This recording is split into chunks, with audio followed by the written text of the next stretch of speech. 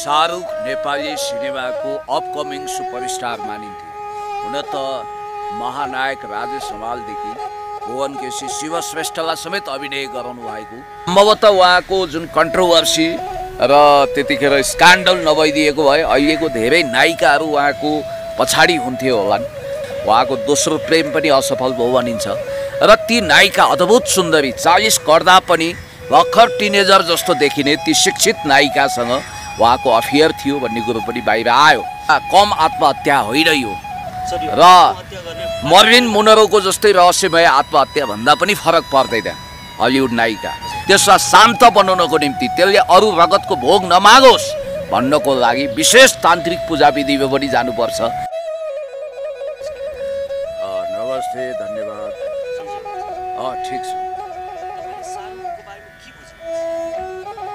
शाहरुख नेपाली सिनेमाको upcoming superstar मानिन्थ्यो हुन त महानायक राजेश हमालदेखि भुवन केसी शिव श्रेष्ठलाई समेत अभिनय गराउनु भएको र पछिल्लो पटक नयाँ पुस्ताका नायकहरूलाई पनि पर्दामा स्थापित गर्नुभएका र शीतल केसीदेखि मनिष श्रेष्ठसम्मलाई डिरेक्सन गरिसक्नुभएका हाम्रो आदरणीय मदन घिमिरेज्यूले यसको विषयमा धेरै कुरा बताउन सक्नुहुन्छ।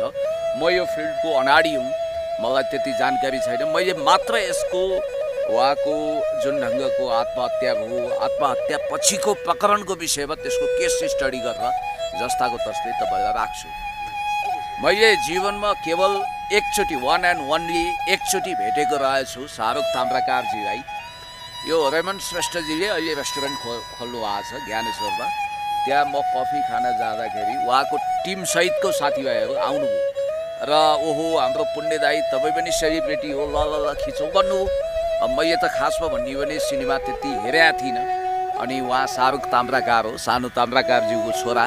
अहिलेको एकदम जल्दो बल्दो नायक भनेर चिनाउनु भयो। त्यतिखेर ट्रेन्डिङ माया भर्खर सुटिङ हुन खोजेको रहेछ। त्यो बिग बजेट मुभी।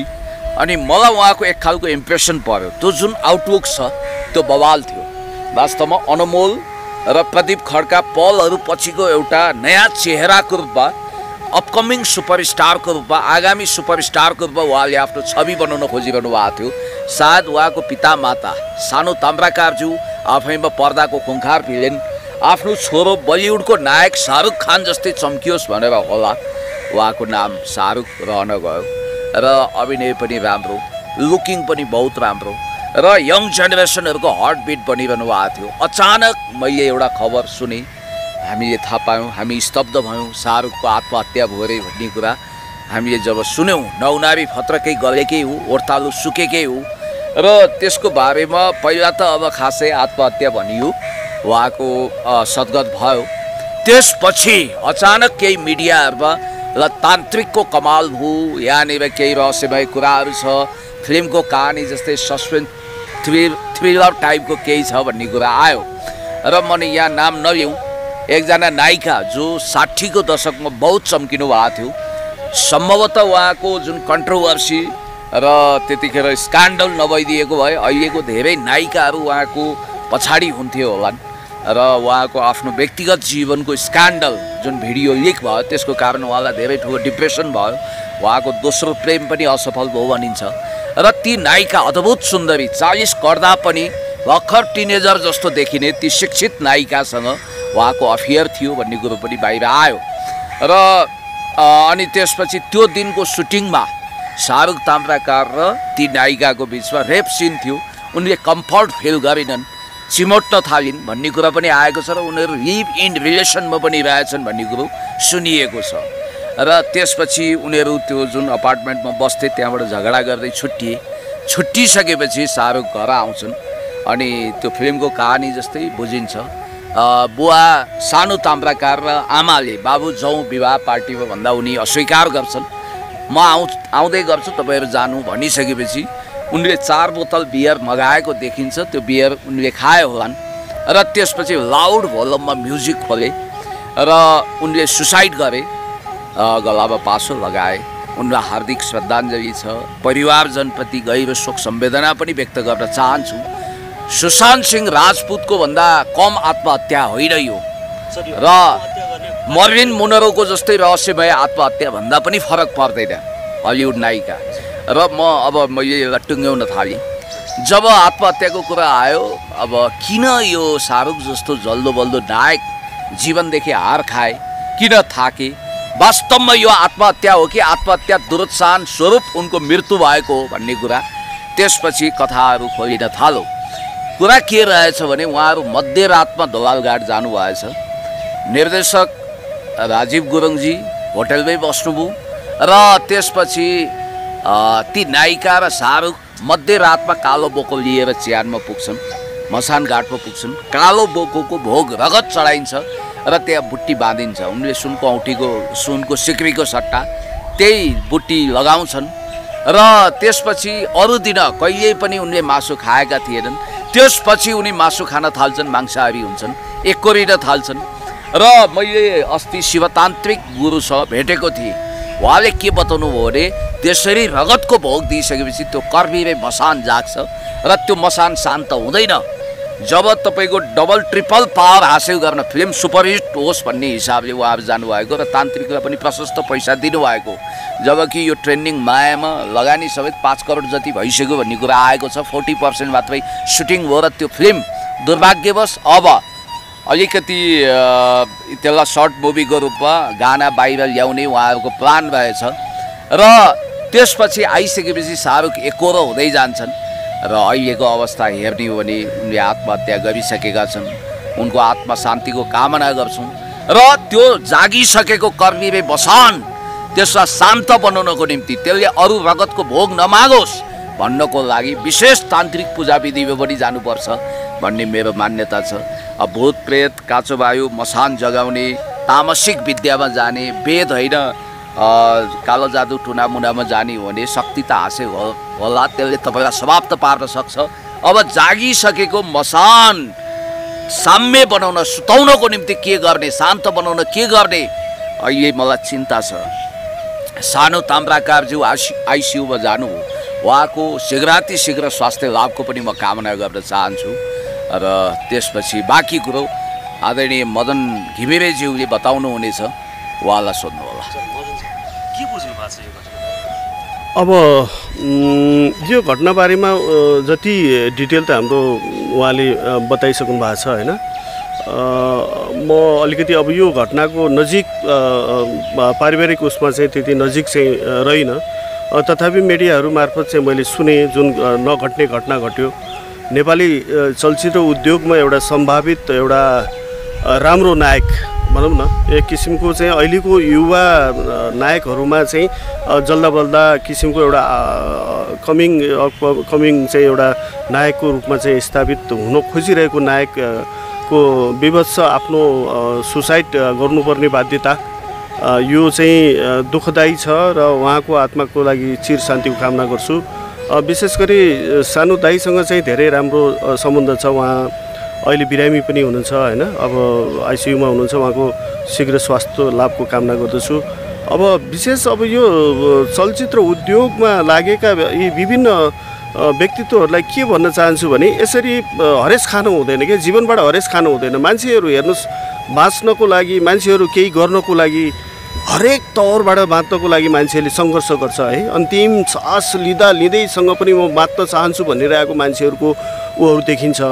त्यो भएको हुनाले अब आम व्यक्तित्वहरूलाई म के भन्छु भने मान्छेको जीवनमा केही उन्नाइस बिस होला केही नराम्रा चलचित्र आउला केही नराम्रो घटनाहरू घट्ला तथापि त्यस्ता घटनाहरूलाई समाजमा मिलाउँदै अगाडि बढेर हामी हिँड्न सक्यौँ र जीवनलाई बुझ्न सक्यौँ र जीवनमा सकारात्मक सोच र समाजमा एउटा राम्रो किसिमको शिक्षा दिन सक्यौँ भनेदेखि पक्कै पनि हामी मरेर त हामीले केही पनि लाँदैनौँ। जीवनमा हामीले सम्पत्ति घर जग्गा केही पनि पोको पारेर लाँदैनौँ। यो सबै छोडेरै जाने हो। तथापि केही समाजमा चाहिँ समाज अ, चिनिउन् राष्ट्र अन्तर्राष्ट्रमा पनि एउटा नाम रहोस् उच्च रहोस् भन्ने हिसाबले कलाकारिताको माध्यमबाट होस् पत्रकारिताको माध्यमबाट होस् विभिन्न साहित्यको विधाको माध्यमबाट चाहिँ हामी आम जो जति लागिरहेका छौँ उहाँहरू सबैलाई चाहिँ कमसेकम एउटा सकारात्मक सोच बिहान उठ्दाखेरि कमसेकम के सोच्नु पऱ्यो व्यक्तित्वहरूले भने के सोच्नु पऱ्यो मानिसहरूले भने म मात्रै मेरो हुँ। म बाहेक मेरो अरू कोही पनि छैन। म मेरै साथी हो। म मेरो घाम लाग्दा मध्ये मध्याहमा माथि घाम लाग्यो भने मेरो सेडो अगाडि हिँडिरहेको सेडो मात्रै मेरो आफ आफन्त हो भन्ने सोच्नु पऱ्यो त्यति सोचिदियो भनेदेखि पक्कै पनि धेरै साथीहरू भेटिन्छ धेरै मान्छेहरू भेटिन्छ छुट्टिन्छ तर के भने मान्छेले आफ्नो जीवन बुझ्नु पऱ्यो कि? के हो त मेरो जीवन भनेर बुझिदिनु पऱ्यो त्यति बुझ्न सक्यो। मान्छे भेटिने छुट्टिने अ, यात्रामा धेरै मान्छेहरू भेटिन्छ। यहाँ कति मान्छेहरू आउनुहुन्छ यो बाटोबाट गुज्रिनुहुन्छ जानुहुन्छ होइन? हामीले कति चिनेका हुन्छौँ कति अन्जान हुन्छ। तर म यही भन्न चाहन्छु यो घटनाबाट म घटनाको बारेमा त उहाँले विस्तृत भनिसक्नुभयो। पक्कै पनि जीवनमा कुनै पनि क्षेत्रमा काम गर्ने तपाईँहरू जस्तो सञ्चारकर्मीहरू हुनुहुन्छ होइन विभिन्न क्षेत्रमा काम गर्ने व्यक्तित्वहरूलाई म यही भन्न चाहन्छु जीवनमा कहिले हरेस खानुहुन्न? आफू मात्रै आफ्नो हो भनेर सोध्नु पऱ्यो अनि त्यसपछि आफू बाँच्नु पऱ्यो अनि त्यसपछि आफू आफ्नो समाज आफ्नो परिवार आफ्नो समाज आफ्नो राष्ट्र अनिखेरि अन्तर्राष्ट्रमा आफ्नो नाम हुन्छ अनि अरूलाई बचाउन सकिन्छ त्यो कुरो सोध्नु पऱ्यो होइन। जीवनमा जति सुखी सङ्घर्ष गरेर पनि बाँच्न चाहिँ पर्छ कि। जुन शाहरुखसँग नाम जोडिएको नायिका हुनुहुन्थ्यो नि हो हो शाहरुखको घटना घटिसकेपछि जुन नायिका नेपाल बाहिर जाने भन्ने कुरा हल्ला आयो होइन अब लगभग साथीहरूले दिएको इन्फर्मेसन अनुसार उहाँ अमेरिका वा क्यानाडा कतै हुनुहुन्छ। व्यक्तिगत रूपमा उहाँ आफ्नो भ्रमण गर्न स्वतन्त्र हुनुहुन्छ पिआर हुनुहुन्छ होला। त्यसमा हाम्रो कुनै आपत्ति पनि भएन। र मैले अघि भन्दा भन्दै एउटा कुरा छुटेछ। जस्तो सत्य सेवा सुरक्षणमको मन्त्र जप्ने देशभक्त बर्दिवाल नेपाल प्रहरीले अहिले सुसाइड नोट भनेर एउटा वक्तव्य दिएको छ अथवा मिडियामा आइरहेको छ। आदरणीय एसएसपी हुनुहुन्छ श्री दानबहादुर कार्कीज्यू। भविष्यको आइजीको छवि बनाउँदै हुनुहुन्छ। उहाँको काबिलियतमा र उहाँको व्यक्तित्वमा उहाँको अनुसन्धानमा मलाई कहिल्यै पनि शङ्का भएन। बहुत कम्पिटेन्ट अफिसर हुनुहुन्छ। र उहाँको मातहतको प्रहरीले गरेको अनुसन्धानको विषयमा हामी सन्तुष्ट पनि हुन्छौँ। देशभक्त बर्दिवाल नेपाल प्रहरी जसले सत्य सेवा सुरक्षणमको मन्त्र जपेको हुन्छ श्री दानबहादुर कार्कीज्यू मातहत रहेको अहिलेको काठमाडौँ परिसरले सुसाइड नोट आयो भनेर बाहिर न्युज दिएको छ। र त्यो सुसाइड नोटका भाषाहरू पनि बाहिर अनलाइन खबर लगायतका मिडिया मार्फत ल्याइएको छ। Let me rest in peace भनेर पिस भनेर उनले भनेका छन्। अर्थात् अब एक हिसाबले आफैले आफैले आफैलाई उहाँले श्रद्धाञ्जली दिनुभएको छ।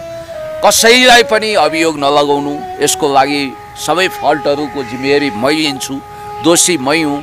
र अझ भावुकतापूर्ण कुरा के छ भने यदि अर्को जन्म भयो भने तपाईँकै सन्तानको रूपमा जन्मिन पाऊँ भनेर त्यहाँ पुकारा गरिएको भन्ने बेहोरा आएको छ।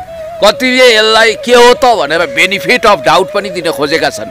किनभने यो सुसाइड नोट मोबाइलमा हुन्थ्यो भने त्यसको स्क्रिनसट बाहिर आओस् न त भन्ने कुरा पनि छ कतिको। अब कतिले के भनेका छन् भने यति ढिलो किन? फरेन्सिक ल्याब टेस्ट विधिविज्ञान प्रयोगशालामा त अहिले अगाडि नै पठाइयो होला। त्यो पठाउने टाइममै यो सार्वजनिक भएको भए हुन्थ्यो भन्ने कुरो पनि छ। खैर अब जे होस् यो नेपाल प्रहरीले फाइल क्लोज गर्न खोजेको जस्तो मलाई लाग्यो। अब यहाँभन्दा बढी नजाउँ। इट्स टु मच भन्ने टाइपले अनुसन्धानमा टुङ्ग्याएको जस्तो लाग्यो। र तपाईँलाई अर्को कुरो के भनौँ भने अलिकति उमेर परिवेश हेर्दा सानो ताम्राकारजी मलाई लाग्छ सिक्सटी प्लस हुनुहुन्छ।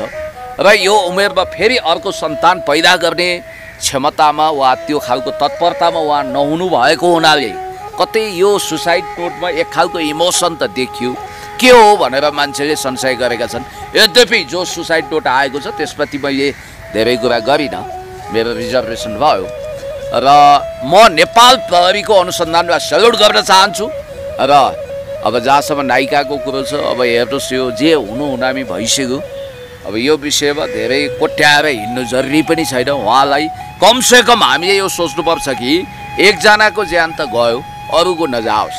अरू सही सलामत रहनुपर्छ भन्ने मान्यता हामी राख्छौँ। अन्त्यमा के भन्नुहुन्छ?